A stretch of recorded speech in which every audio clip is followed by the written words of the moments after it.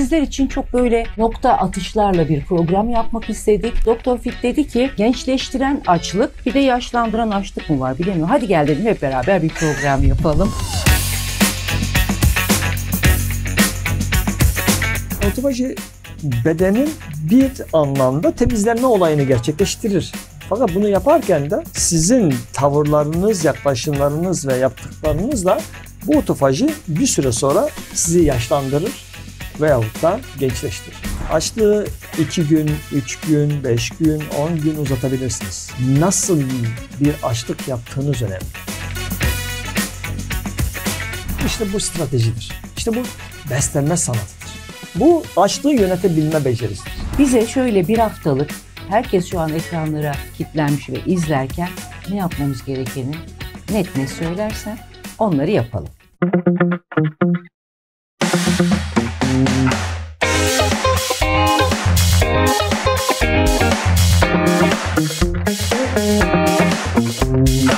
Herkese merhabalar. Yine sizlerle birlikteyiz.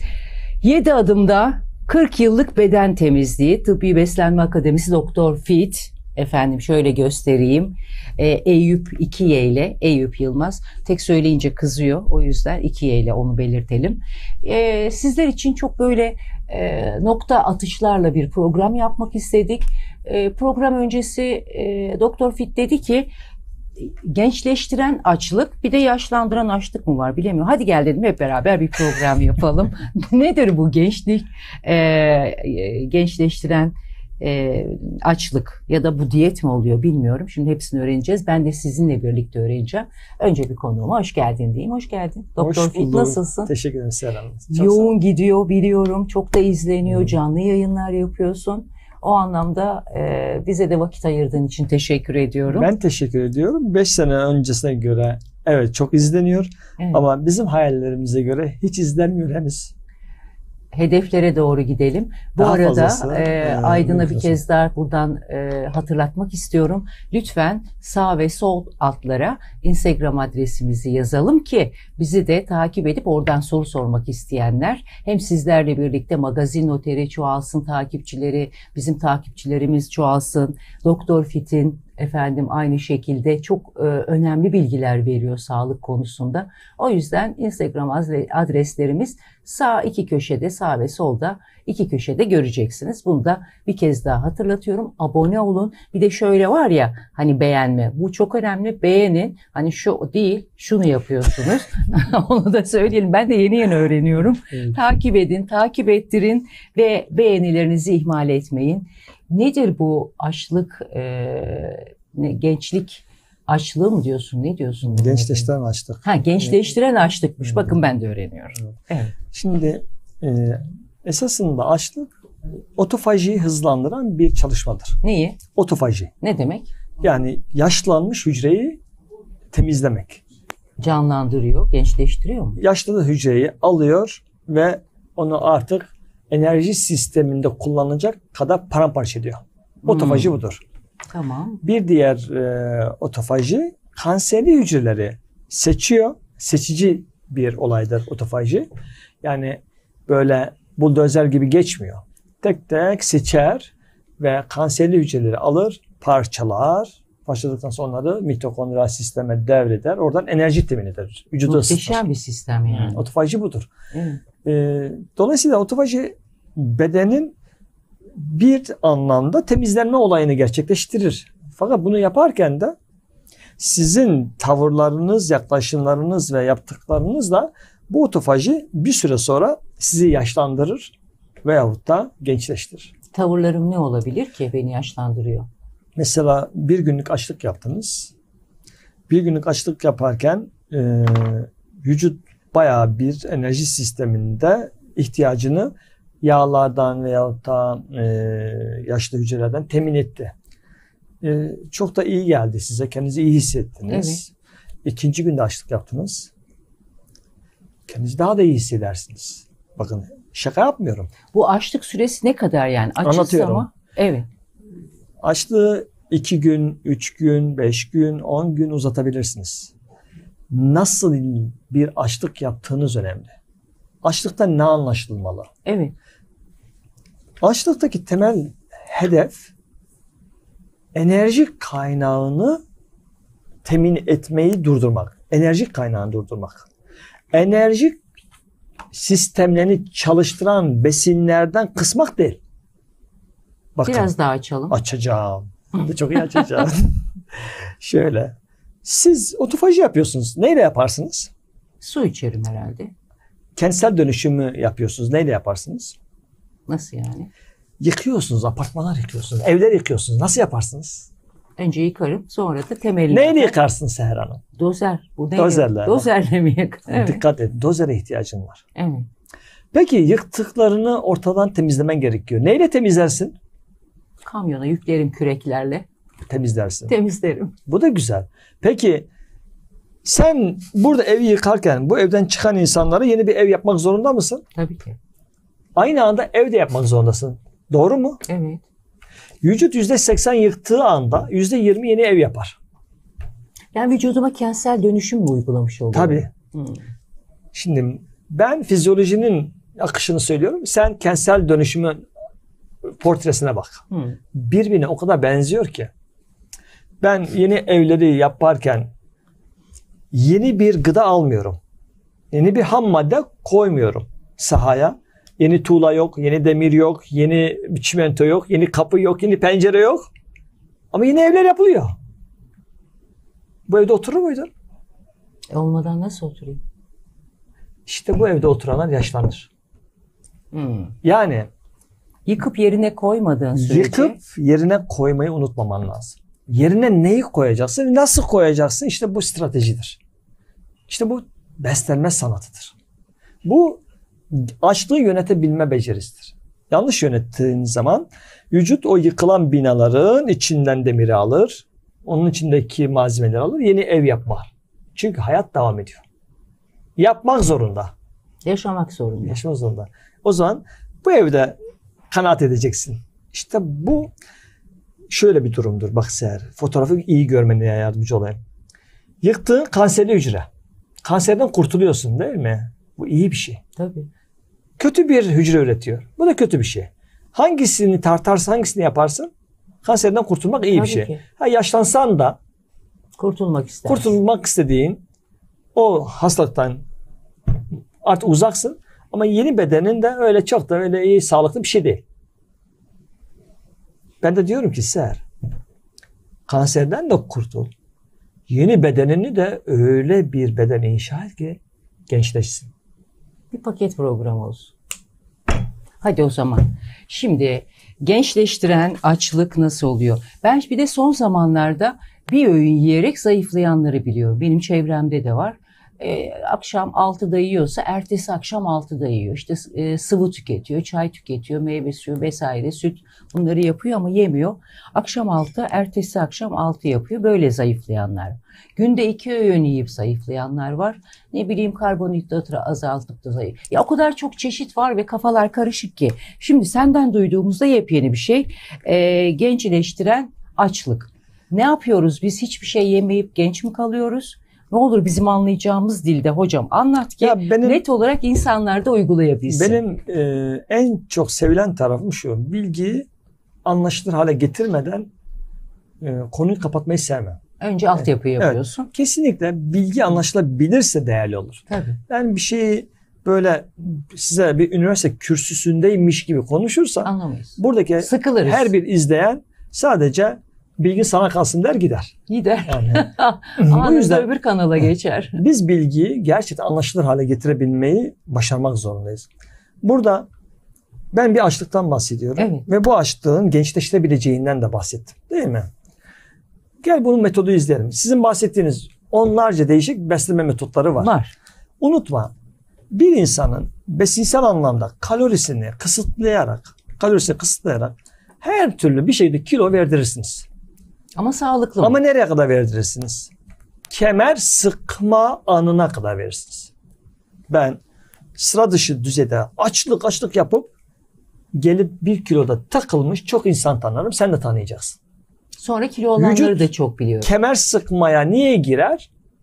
Çünkü artık hayati organları korumak zorundadır. Enerji üretimini minimize eder. Çünkü sen kalori kısıtlıyorsun ya. O da enerji üretmeyi kabul etmez. Artık enerji üretmeyeceğim der. Ne? Ellere. Elleri üşütürsün. Ellerin üşümeye başlar. Ne? Ayaklara. Ayakların soğumaya başlar. Buna kemer sıkma politikasının bir uzantısıdır. Neye? Saçlara. Saçların dökülür. Anlamazsınız ya niye saçlarım dökülüyor dersiniz. Vücuttan vitamini Çünkü vücut e, artık tükettin. enerji Bitti, evet. anlamında bunu sın, kendini koruma altına aldığı için ilk ihmal edeceği sistemler bu yüzden. O yüzden erkeklerin ilk saçları dökülür yani. Doğru. Ama onlar kemer sıkmıyorlar. Göbek maşallah. Göbek Hepsinde var. Kemer yetişmiyor. şöyle e, temel besinlerdeki eksiklikler ayrı bir şeydir. Göbek yağı ayrı bir şeydir. Buna karıştırma. O bir enerji kaynağı ama o enerji kaynağını kullanacak malzeme lazım. Az önce ne demiştim? Evleri yıktın. Neyle yıkarsın? Kepçeyle. Şimdi sen kepçeyi ihmal edersen, kepçeye benzin yetiştirmezsen, kepçenin ihtiyaçlarını gidermezsen kemer sıkma politikasına girersin. Vücut artık enerji üretemez hale gelir. Bu yüzden sistemi ben anlaşılır hale getirmek için çaba göstereceğim. Sen de sorularla bana yön ver ki anlaşılmadan Tamam. bir şey kalmasın. O zaman bizim yapmamız gereken kepçemiz, dozerimiz nedir? Neleri temizleyeceğiz? Nasıl yapacağız? Ne gibi gıdalar Ve yeni, yiyeceğiz ki? yeni bir yeni bir e, ev inşa edeceğiz. ev inşa edelim Oradaki ve bu da malzeme. sağlıklı olsun, depreme dayanıklı olsun diyelim. Bir de yani bak Üstelik işte, bir de o var. o yüzden de e, bizim bir günlük ya da bir aylık ne olur ne tüketmemiz gerekiyor? Neleri e, artık nelerden vazgeçmemiz gerekiyor? Ben şekerden, tuzdan vazgeçemiyorum. Şimdi çayıma önceden iki tane atıyordum. Şimdi bire indirdim. Onu da azaltarak e, niyetim tamamen çayı zaten çok içmiyorum ama o şeker tuz dengesini ayarlayamıyorum. Bize şöyle bir haftalık herkes şu an ekranlara kilitlenmiş ve izlerken ne yapmamız gerekeni net ne söylersen onları yapalım. Sonra bakalım gençleşiyor muyuz? Bir ay e, kaç ayda gençleşiyoruz bunu da söyle ki ya da o belirtileri nasıl kendimizde görüyoruz? Halsizlik mi gidiyor? Uyku düzenimiz mi düzeliyor? Ne oluyor bizde de biz bunu anlıyoruz. Evet. Cildimizde parlaklık mı oluyor? Gençleşmenin en bariz bulgusu şudur. Ser. Bir, bir enerji patlaması yaşarsınız. Enerjiniz artar. Enerji fazlalığı yaşarsınız. Kesinlikle daha bir dinç olursunuz. Ve kesinlikle cildiniz daha parlak olur. Açlığı yaptığınız ilk dönemlerde benim bu söylediğim kurallara hiç uymasanız da yaşayacaksınız. Ama, Ama kalitesi nasıl olacak? ama nasıl? Bakın bir açlık uygulamasına girmiş Osmanlı hanedanlarından birisi. Yani bugün yurt dışında yaşayan, Amerika Birleşik Devletleri'nde yaşayan bir dostumuz.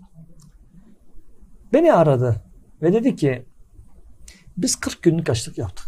40 günlük. Evet. Amacımız manevi gözlerimizi açmak. Bilirsiniz bütün velilerin, bütün yüksek düzeyde Maneviyat e, maneviyatı aşkı için. yüksek insanların yaptığı bir halvet vardır. Halvet hali. Ve 40 gün kapanırlar. Işık görmezler, yemek yemezler, sadece su içerler ve o süreci sürekli maneviyatı yükseltmek için harcarlar. Biz bunun için yaptık. Fakat biz bunu yoğun bakımda kapattık. Hastanede Oo. yatarak kapattık. Ve tek değildim. Yanımdaki hocamla beraber ikimiz de hastanelik olduk. Hiçbir şey yapmadık. Yemek yemiyoruz. Yemek yemediğimiz halde karaciğer zehirlemesi yaşadık. Yemek yemediğimiz halde bütün eklem mafsallarımızın hepsi gut oldu. Ve ben bu süreci bir yılda ancak atlatabildim. Tam da atlattım denemez dedi. Bu yolculuğumda birçok hekime göründüm Amerika'da. Göründüğüm her bir hekim bu olaya izah getirmekte o kadar aciz kaldı ki. Açlık yaparken karaciğer toksitesi nasıl izah edilir? Tabii. Vücut dinleniyor. Karaciğerin yükünü almışsın. Karaciğere yük vermiyorsun. Yemek yemiyorsun. Ama karaciğer zehirlenmiş halde.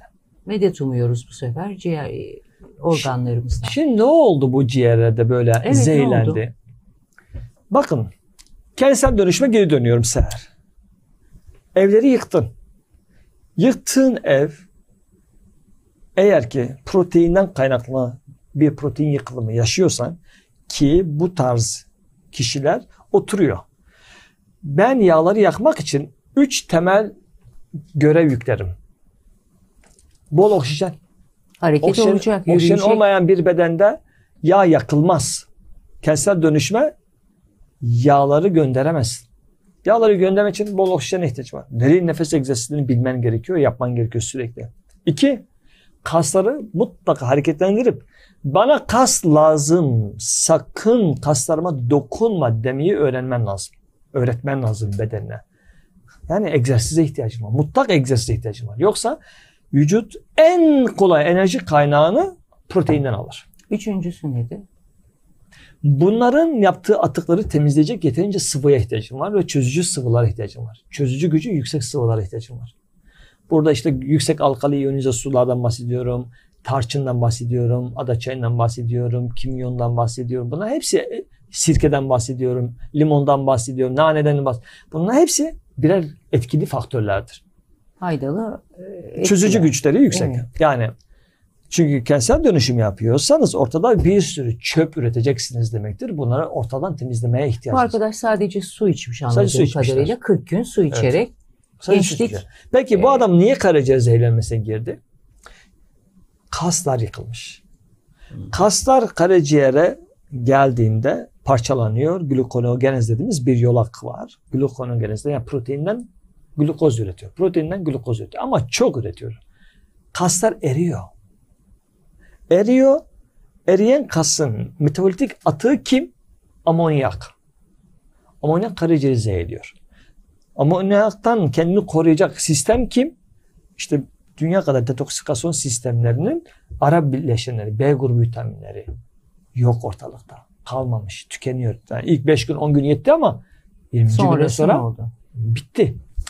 Dolayısıyla sistem kendini detoksifiye edebilme yeteneğini kaybetti.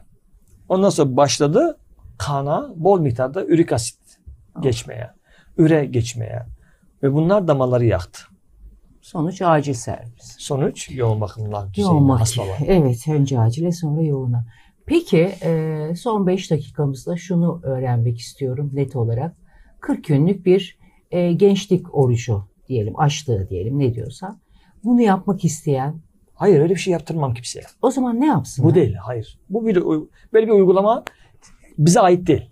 Bu farklı kişilerin konuşacağı bir konu. Benim konum bu değil. Benim konum intermittent fast yapıyor. Intermittent fast yani Evet. aralıklı oruç tutuyor. Evet Bu aralıklı oruç tutarken ki gençleştiren açlıktan bahsediyorum. tamam bize bir tane örnek verin ki daha net anlayalım. Sağlıklı beslenme diyelim adına. Şimdi Ne yapalım? Bir, Şöyle bir yapmak. günlük bizim yapmamız gerekeni söylersen onu 40 güne işte 30 güne ya da o süreyi de belirleyelim. O şekilde yapsınlar. seher öyle 40 güne 60 güne değil.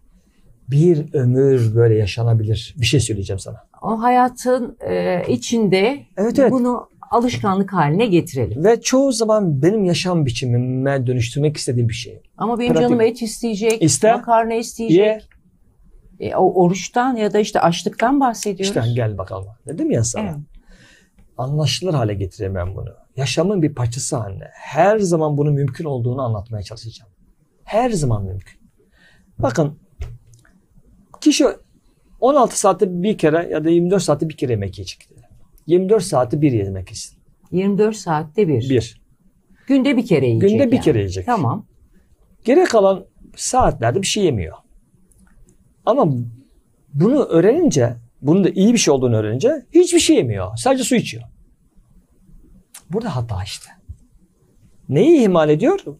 O buldozerlerin yakıtını ihmal ediyor. Evet. Neyi ihmal ediyor? Yeni üretilecek olan evlerin malzemesini ihmal ediyor. Vücut daima yeni bir hücre üretmek zorundadır. Soru sana soruyor. Bir insan bir günde kaç milyar hücre üretiyor biliyor musun? Bilmiyorum hocam. Lütfen bize aydın. 100 milyar yeni hücre üretiyor. 100 milyon. Her gün. Bu ortalamadır. Ya, Yani öyle bir fabrikayız kişiden- ki mucizeyiz yani. kişi değişir yani. 150 milyar hücrede üreten adam vardır. 50 milyar Bünyeye üreten- göre mi Bünyeye değişiyor? göre değişir. Yaptığı işe göre değişir. Hücre kalitesine göre değişir. E, yediği gıdaya göre değişir. Egzersizlere Egzersize göre değişir. değişir, değişir, değişir. Ama Ortalama bir günde 100 milyar hücre üreten bir fizyolojiden bahsediyorum. Her gün yeni bir hücre üretecek. Bunu neyden üretmesini isterdin? Şimdi Seher'e soruyorum. Gıdalar da almak. Seher sen hiç Mercedes fabrikasına Tofaş'ın malzemelerini gönderip bana buradan bir Mercedes çıkar der miydin? Eğreti olur. Değil mi? Ya derler ki sana olmadı Seher bundan çıkmaz bu. Sen bu bedene öyle bir beden inşa edeceksin ki öyle bir ürün göndermelisin. Senin her bir hücreni yeniden inşa ederken bir Mercedes kalitesinde üretsin Seher. Hocam lütfen bize söyler misiniz? Anladık. Kanlı besin. Lütfen söyler misiniz biz ne yiyelim bir gün bir hafta onu hayatımıza alışkanlık haline getirelim. E, günde bir kere yedik. Mutlaka e, yiyecekleri tüketmemiz gerekiyor. Sadece sıvılarla olmaz. Ne olur son e, veda etmeden önce bir gün ne yiyelim onu e, izleyicilerimiz öğrensin. Bir kere Seher ben bir insanın hayatına şunu çıkar desem, ekmeği çıkar desem, eti çıkar desem, şunu yeme bunu yeme desem, Ezbere konuşmuş Bu- olursunuz. sürdürülebilirlik yaşatmaz sana. Ve bir süre sonra tıkanır kalırsın. Tabii. Hayır. Ben diyorum ki etle beraber bunu yapalım. Et de senin yeni hücrelerinin görevinde etkili bir besin. Ona ihtiyacımız var. Şimdi günde bir kere yiyorsak onun Bir dakika, miktarı ne anlatalım, olması anlatalım. gerekir? Şimdi günde bir kere yiyeceksin. Arada açlığın derinleştiği bir zaman dilimi vardır. Kendi çok aç hissedeceğin bir zaman dilimi gelir. Ve o açlık bedeninde temizliği en güçlü yapacağı saat dilimine giriyorsun demektir. Temizlik yapacak. En güçlü otofaji saati en çok kendi aç hissettiğin saattir. Ve insan onu hissettiğinde açlığı bozmak istemez. Bekle, temizlik devam etsin. Hı. Fakat bu temizlik devam ederken bir yandan da ben bir insanım ve midemin böyle hafif dolgunluğuna ihtiyacım yok mu? Tabii ki. Ya bir şeyler yesem, peki bir şeyler yerken bedenimi temizleyecek bir şey yesem, Mesela bir tane kivi yesem, bir tane ekşi erik yesem, ekşi elma yesem, bir tane moringa yapıp moringa içsem, çayını içsem, vücudu temizleyecek bir şeyler yapıyorum bakın. ama canım makarna istiyorsa. Canın makarnayı erteleyeceksin. O canıma diyeceğim ki sen burada kivi ye. Dur. Çünkü neden? Burada enerji kaynağını uzak tutmalıyım ki açlık devam edebilsin. Enerji kaynağı değil. Benim enerji kaynağına ihtiyacım yok şu anda. Ben açlığı güçlendirme ihtiyacım var. Benim şu an buldozerlere yakıt gönderme ihtiyacım var. Doğru bir kaptan, bir şoför gönderme ihtiyacım var. Benim oradaki atıkları temizleyecek kamyon gönderme ihtiyacım var. Şu anda ihtiyacım bu. Bunları organize ediyorum. Ben e, mesela günde iki öğün yiyorum. Sabah bir dilim ekmek bazen de yemiyorum. Yumurta, işte peynir, domates vesaire çok da yemem. Akşam saati 5-6 gibi yiyorum. Ekmekle çok fazla e, öyle tüketmeyi de sevmiyorum, istemiyorum. Öyle hamur işi, börekti vesaire benim sütlü tatlılarla aram iyidir. Onları tüketiyorum. Akşam yedikten sonra bir de geç yatıyorum ben. Yani e, diyelim ki 2'de, 1'de 2'de. Ya o saatte canım dondurma istiyor, canım çikolata istiyor. Bir şeyler e, yap belki de alıştırıyorum o saatlere. O yüzden de bir sinyal veriyor. Yani benim bunu önlemem için benim gibi belki de birçok izleyicimiz aynı şikayetten e, muzdarip olacak. Bunu önge- engellemem için çay mı içeyim, su mu içeyim? Ama o zaman da midem kazanıyor gibi geliyor. Ben ne yapayım hocam? Örnek olsun diye söylüyorum Bu- ki. evet, bugün e, Ya sağlıklı bir beslenme mi benim yaptığım? Doktor Fit YouTube kanalında bugün bu konuyu işledim. Öyle mi? E, bunları anlattım. Bir kahvaltıda neler yapılmalı? En büyük yapılan 3 hatayı anlattım.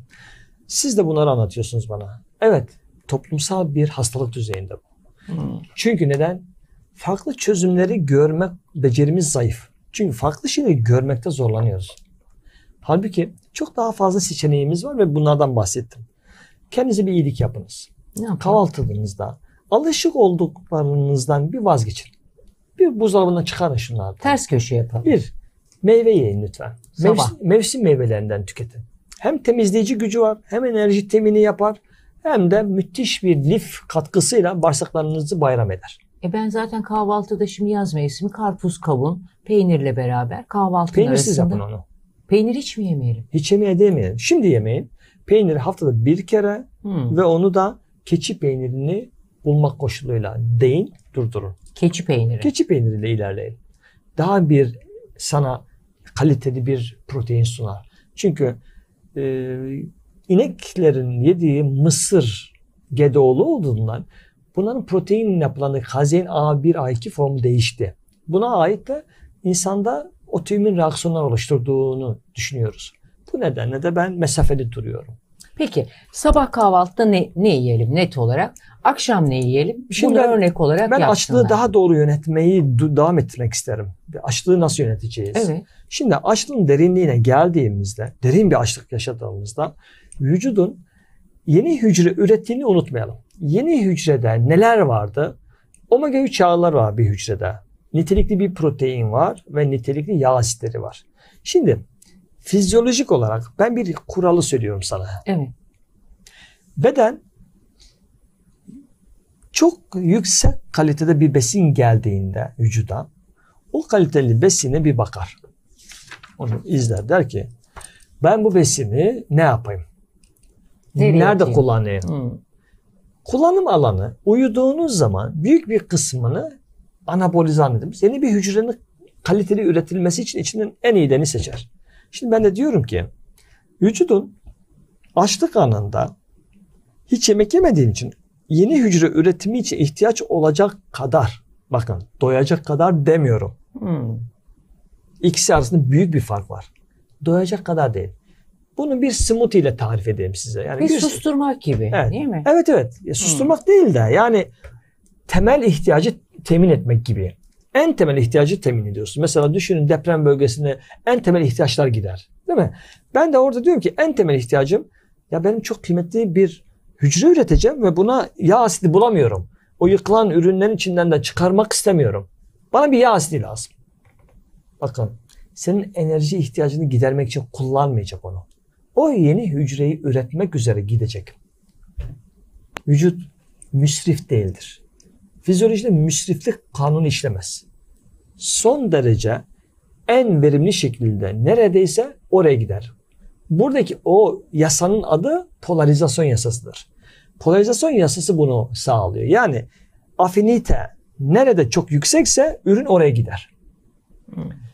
Hatta şunu söylüyorum sana. Aynı anda kızartılmış bir zeytinyağı ve şurada da normal soğuk pres zeytinyağını beraber yedin. Ve beraber vücutta kanla dolaşıyorlar. Yeni bir hücre üretilecek. Yeni hücrede kavrulmamış, ısıtılmamış yağı polarizasyon yasasına göre önce kapar, onu hücreye kullanır. Kavrulmuş olanı ısı işlem görevinde mitokondriye gönderir, orada kullanır, yakıta dönüştürür. En açlık halinde bakın bir tatlı kaşığı kadar kıymetli omega 3 yağı Ya. ya da azıcık keten tohumu Hmm. gece suda Keten bekletilmiş. tohumunu aslında Evet. hayatımızdan Onu eksik da- etmemek Evet, gerekiyor. bir tatlı kaşığı keten tohumu gece suya koymuşsanız ertesi gün onu bir blenderdan çekip böyle bir moringayla bir böyle e, yeşil bir dereotuyla bir kırmızı pancarla azıcık böyle m, robottan geçirip içine çok az sirke koymuş olursanız sirke katabolizan fazla da destekler. Yani o bahsettiğimiz otofajiyi de güçlendirir biliyor musunuz? Çünkü sirkenin Keten tohumu, zeytinyağı, sirke, e, yeşil sebze veya bir- pan- kırmızı renklerine pancar. göre pancar olabilir. Hepsini bir, e, bir araya getirin. blenderdan geçirin. Geçirin. Buradaki omega 3 yağını e, keten tohumundan almalısınız. Ya da böyle aroması omega 3 yağı olan yani balık olan bir şey olmaz. Yani Keten onu, tohumu. Evet Ya da yazayım o zaman- ben bunu. o zaman e, balık yağını alacaksanız kapsül almak zorundasınız yani bu Evet. durumlarımız. Ve çok 3 tane 5 tane e, badem ya da bir tane ceviz bakın normal bir adam için 3 tane ceviz kullanırsınız değil mi doyumluk için. Burada niye bir tane kullanıyoruz? Bahsettiğimiz açlığı yönetebilmek için. Minik. Önce bünyeyi alıştırmak Anabolizan için. faz yani yeni hücre üretimine kullanacaksın sen onu. Başka bir şey değil. Doymak için içmiyorsun onu. Karıştırma birbirine. E, peki açlığı nasıl gidereceğiz? Aa, Bunların hepsine Açlık gidiyor. O tok da tutuyor aynı Bakın, zamanda. İçten yıkılım hızlanıyor. Açlığını da hissetmiyorsun. İnanılmaz bir şey o. Ya Evet. ben bunu deneyimlediğim için diyorum ki keşke herkes anlatabilsem bunu. Anlatacağız. Daha çok ayrıntıları anlatacağız ama süremiz kısıtlı olduğu için son olarak sabah yememiz gereken eee, kısa bir eee, yiyeceklerimizle ilgili bir tavsiye. Bir de akşam ne yersek bizi hem tok tutar hem hücrelerimizi yeniler. Çok kısa olarak söylerseniz sonra uzun uzun anlatalım Şöyle, ve eee, e, zaman zaman da yapalım bu programı. Altın bilgi şu. Gece senin yeni hücrelerini üretmek için kullanılacak temel malzemeleri ye. Yani canlı besin ye. Gece canlı besinlerle uyuyanlar sabaha gençleşerek uyanır. Altın cümle budur. Sabah enerji temini için ihtiyaç olan tatlı meyveleri, incirden, kayısıdan, hurmadan, karpuzdan, kavundan da vazgeçme. Vazgeçme en sevdiğim şeyler. Bir Ama ben- yanlarına bunların mizaçlarını dengeleyecek kavrulmamış bir çerez koy. Azıcık da olsa. Evet, açken ben ben değilim. Karakterim de değişiyor. Sinirleniyorum. Şekerim düşüyor. Deneyeceğim. Bakayım nasıl oluyor. Gerçekten beni Sen e, lütfen dene. deneyeceğim bunu. Alacağım sizden de. Ama e, mesela akşam bir dilim et yedik. Yanında salata yedik gibi. Böyle bir bilgi vermediniz. Hayır yiyebilirsiniz. Ben verin Tabii. işte böyle bir bilgi bize. Ay canım, Sabah yani iki zaten tane zeytin Bunu ben söylemesem de zaten iyi olur. Hayır sen söyleyelim net olsun yani. Ya şöyle haftanın en azından haftanın en azından bir günü insan mutlaka kuzu eti ya da Balık. gerçek anlamda böyle beslenme olmayan balık. Yani Hı. kalkıp da e, yanlış besinlerle beslenen hiçbir hayvanın etini insanoğlunun beden sarayına layık Onu görmüyor. da nasıl bulacağız bilmiyorum. Bulamıyorsanız ihtiyacın olmadığını bilmeni istiyorum. Yani bir insana, Hı. bir insana bak unutma. Ayda 3 kere 4 kere et yemişse ihtiyacını karşılıyor. Ayda üç kere dört kere? Ha- karşılıyor. Yani haftada bir kere yiyen bir adam et ihtiyacını fazlasıyla karşılıyor. Balık. Daha, daha fazlasına ihtiyaç yok. İhtiyaç bu. Balık da. Yani balık çok tüketilir. Haftada bir kere iki kere yenecek gıda değildir. Balık tüketimi soğuk mizaçlı bir gıdadır. Böyle bir gıdayı uzun süre haftada bir iki kere yiyenler hep kilo almak zorunda kalacak. Oo. Çünkü mizacı soğutarak ödeme veya su tutulumuna sebebiyet vermektedir. Peyniri çok yiyenlere sözünüz nedir? Peynir, Sabah kahvaltıda. Her sabah peynir yiyenler her sabah yaşlanmak için bir lokma alanlardır. Zeytin. Zeytin öyle değil. Zeytini daha güvenli buluyorum. Her gün yese de yenilir ama e, reseptör dan regülasyon kanunları haftada iki kere, üç kereden fazlasına ihtiyaç olmadığını söylüyor. Haftada iki, üç geçmeye lüzum yok. Yaşlandıran, açlıktan, gençleştiren, açlığa yolculuk için eee Doktor Fit şöyle Eyüp Yılmaz 2Y ile kitaplarını mutlaka okuyun. Başucu kitabı yapın. Daha çok programlar yapacağız. Eee, bu kısa sürede en azından eee, sizi bilgilendirebildiysek ki ben bilgilendim. Keten tohumunu da eee, evinizden eksik etmeyin. Bunu öğrendim. Çok mu acıktınız? Hemen kar, hızlı hızlı bir de hızlı yeme şeyi var bende. Hızlı hızlı yemeyin. O açlığınızı köreltmek diyelim belki buna. Onun için e, keten tohumunu akşamdan ıslatın ya da birkaç saat öncesinden ıslatın. İçine zeytinyağı koyun. E, yeşil maydanoz olabilir, dereotu olabilir, bulamadığınız pancar koyun. Hepsini bir mikserden geçirin. Onu için cevizi de üç tane değil bir tane yerseniz o da sizi tok tutacaktır. İyi anlamış mıyım hocam? Çok güzel. Görüşmek üzere, hoşçakalın.